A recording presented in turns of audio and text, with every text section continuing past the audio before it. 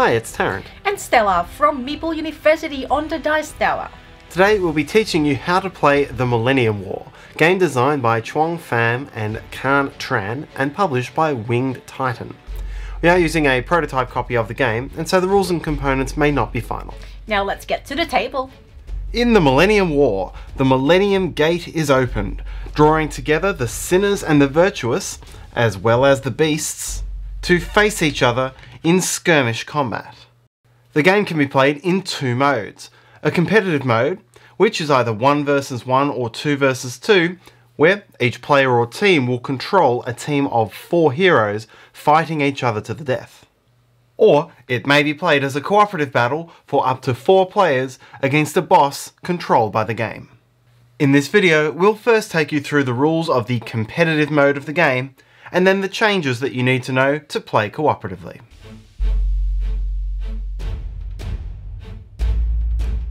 To set up for the competitive mode, first lay out the board on this side, the Millennium Arena. The competitive mode can be played as either a 1 versus 1 or a 2 versus 2, but either way, each side of the battle will control a team of 4 heroes. One side, thematically, will be the virtuous, and the other will be the sinners. Lay out all of the hero cards, and then the two sides will take turns to draft heroes into their teams of 4. Choose a first team or player who will take the first pick. The second team or player will take the next two picks, and you'll alternate from there.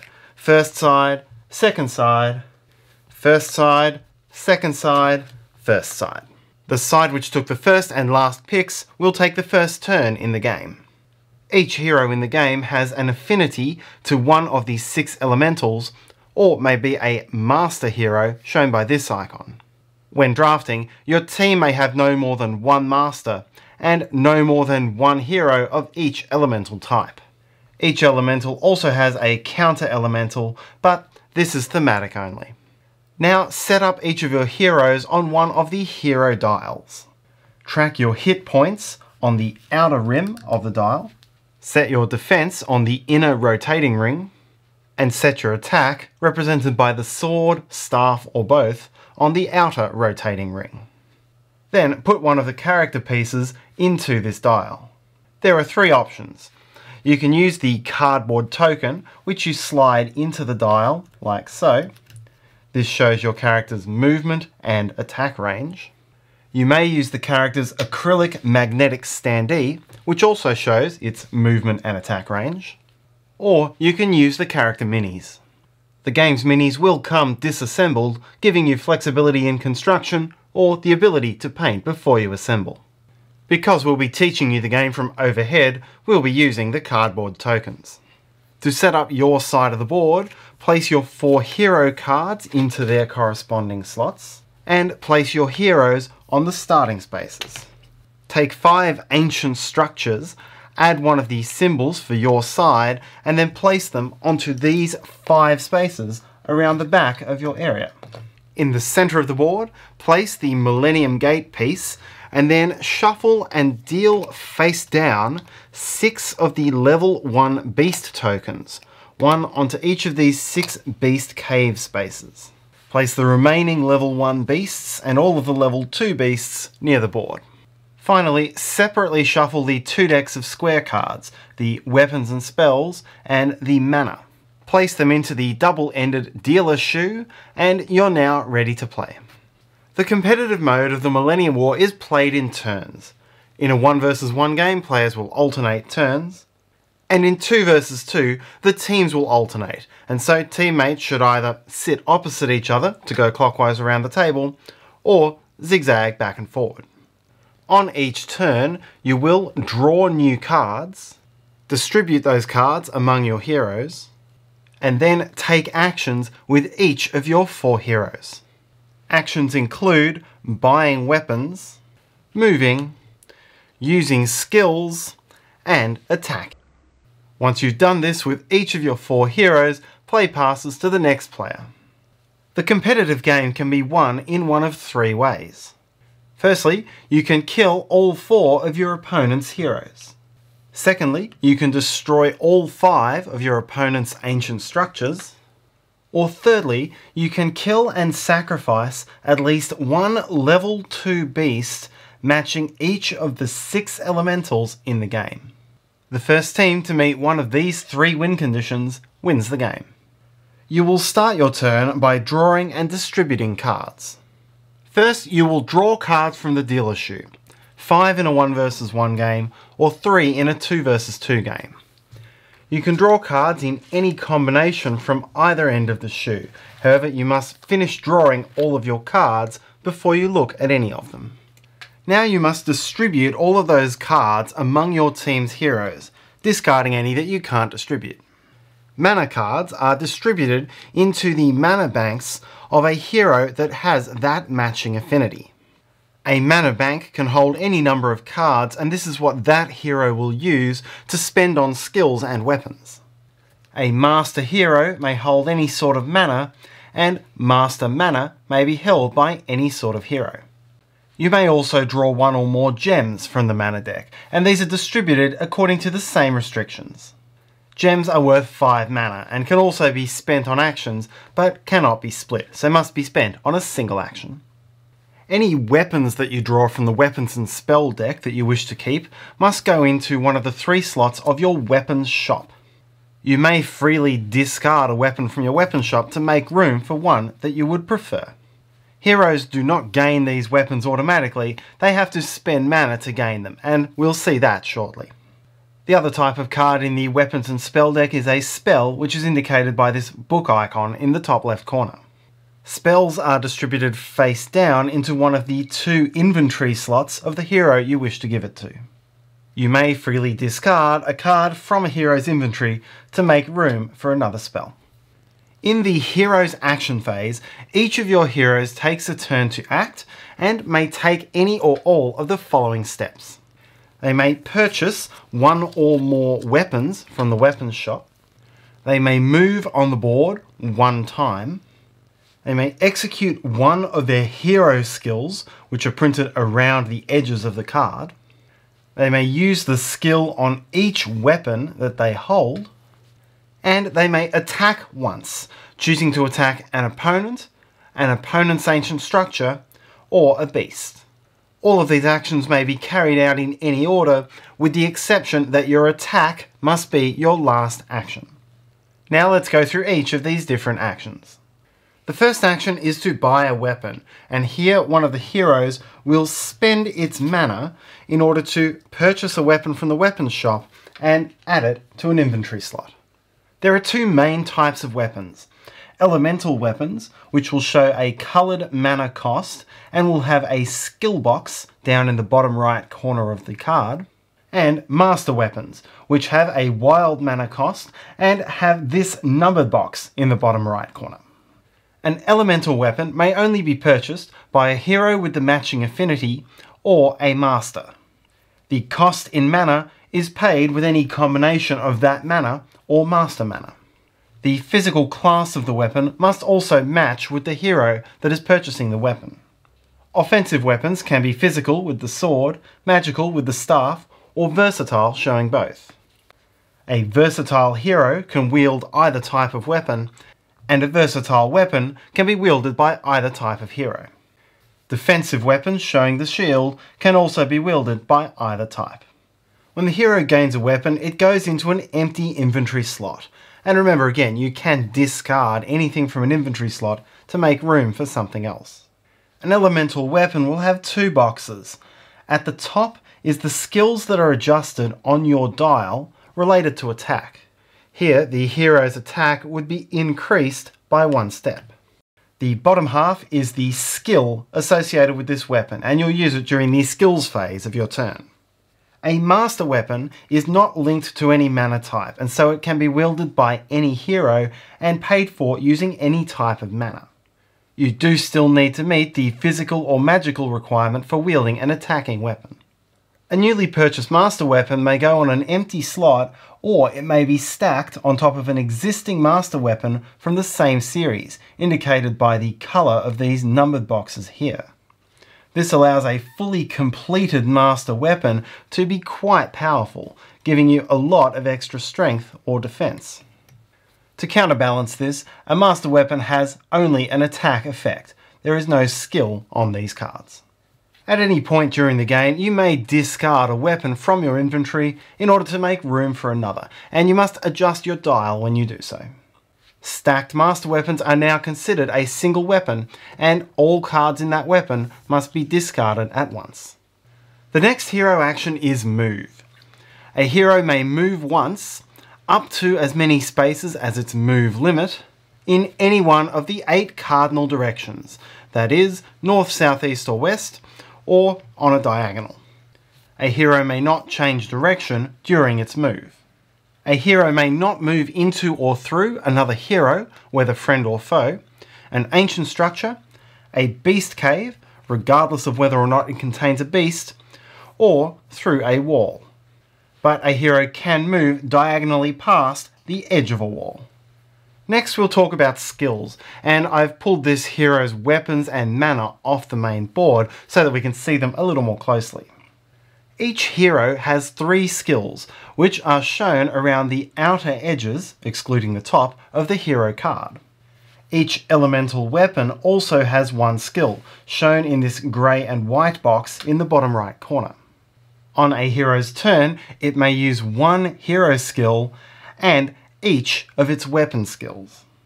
Every skill has a cost in mana which must be paid in order to take it, and so you can only take as many skills as you can afford. To use three skills here, the hero would need to pay one mana to use Venom, one to use Ghost Form, and overpay with the Earth Gem to use one of the hero skills. Master mana may also be spent as wild. There's a wide variety of different effects and icons associated with skills, and we're not going to go through all of them here, but we'll take you through some of the most critical. The number 1 represents an effect which will last for one turn, that is, until the start of your team's next turn. Here, for example, you'd pay 3, 5, or 7 mana of any sort to add 2, 4, or 6 attack damage for one turn. An infinite effect lasts forever and generally impacts your battle stats. Here, for example, you'd pay 2 earth mana to gain 2 defense, and you can use this any number of times during the game. Skills often affect only the hero that uses them or maybe one target, but one showing this arrow icon is an area effect which will affect all of a certain type of target within a given range. Here, for example, it traps all enemies within a 5x5 range, so you would trace out a 5x5 grid with that hero at the center and trap any enemies within that range. The globe represents a global effect which impacts all of the targets wherever they are on the board. The M is a multicast effect, and so although you can only use one hero skill per turn, you can use a multicast effect any number of times that you can pay for on that turn and a skill with the pause icon is not played during this phase of your turn. You can pay for and play it when you are attacked by an enemy. As a general rule, any skill which directly harms or weakens an enemy can be used on another hero, but not on a beast. But skills which strengthen your own hero can be used before fights against beasts. There are also many skills in the game which allow you to regenerate your health, but you may never regenerate beyond your starting health. For all of the other icons and skills in the game, we'll leave you to refer to the icon legend or the rulebook. The last action of any hero's turn is to attack, and a hero may attack one valid target which is within its range. Valid targets can include enemy heroes, enemy ancients, and beasts, both face up and face down. The range of a hero's attack is shown in the bullseye number, and it is counted in the eight cardinal directions. It is also blocked by heroes, ancients, beast caves, and walls.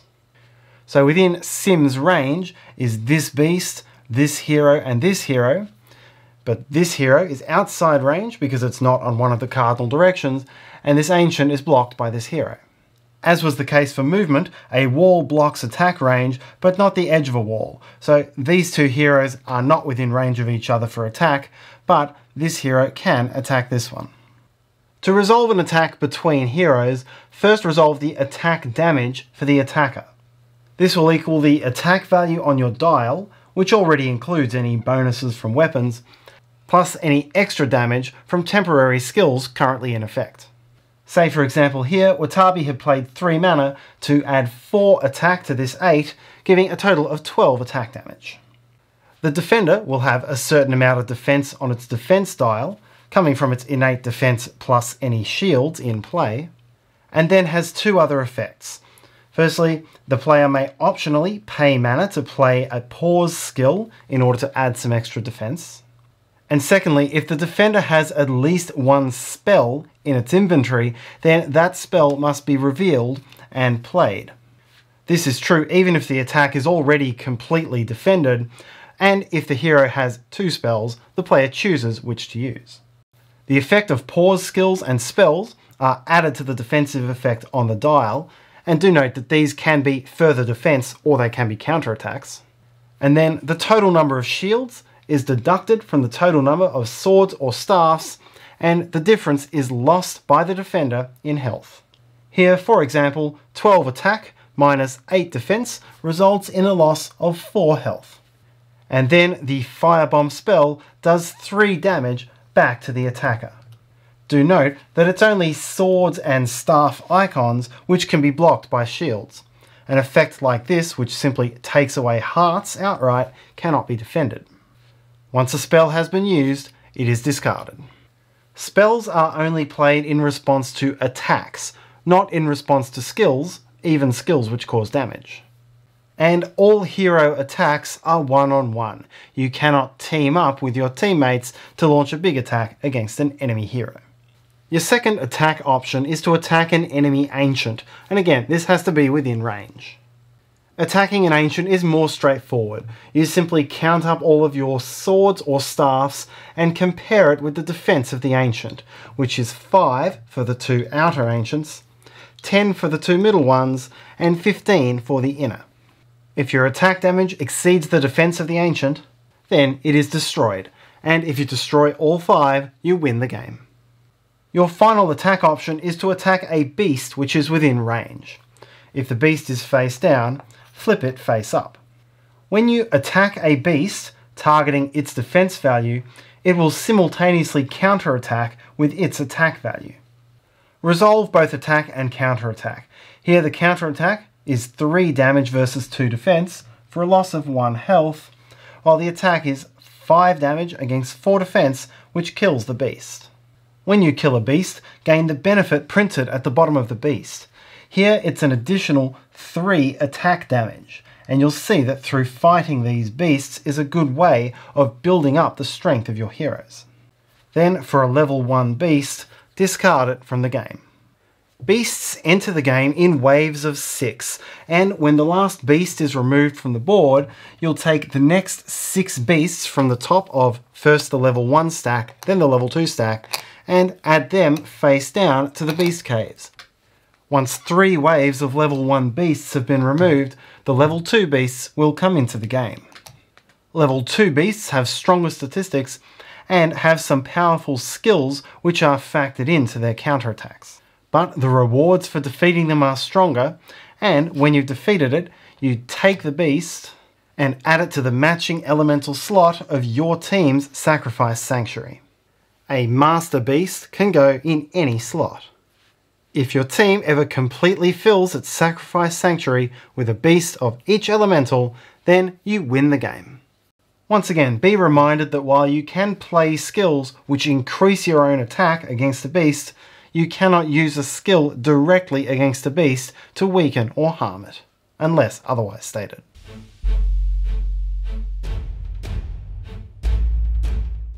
We'll now talk about how to play the cooperative mode of the game, which plays between 1 and 4 players and pits a team of 4 heroes up against a boss. Choose your boss and choose the heroes that you wish to play as. Unlike the competitive mode, you may use multiple heroes of the same elemental. As mentioned, there will always be 4, so distribute them among the players, and if you're playing with 3, one player will play 2 heroes you will also need to split the four heroes into two sub-teams, a virtue team and a sin team. Refer to the boss information card and set up the map showing for this boss. On the Sin side of the board, place the two Sin Hero cards and these Sin Hero dials in the starting spaces. On each of these three spots, place a Sin Ancient. These serve as life counters in the cooperative mode of the game. Do likewise on the Virtue side, and note that each of these heroes has a number underneath it, which can come into play in some of the AI actions in the game. Place a level 1 beast onto each beast cave, but be aware that this time you'll have more than 6. Now take your boss's key components, which will be the main gold bordered info card, all of the AI cards which you should shuffle, and any other cards which come with that boss, as well as two leftover hero bases. Each boss will have two sets of attack statistics and skills, and two different sets of hit points, and during the game you will start by facing the first set of stats and hit points, and once that's expired, you'll move on to the second.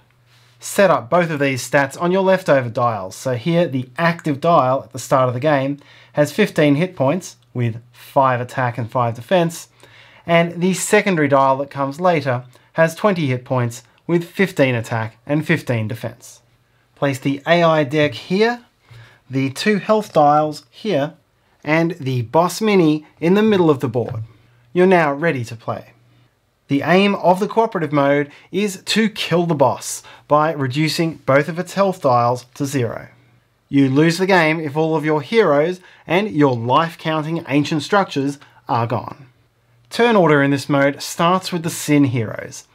Each Sin hero takes a turn, then the boss, then each Virtue hero, then the boss again, and repeat.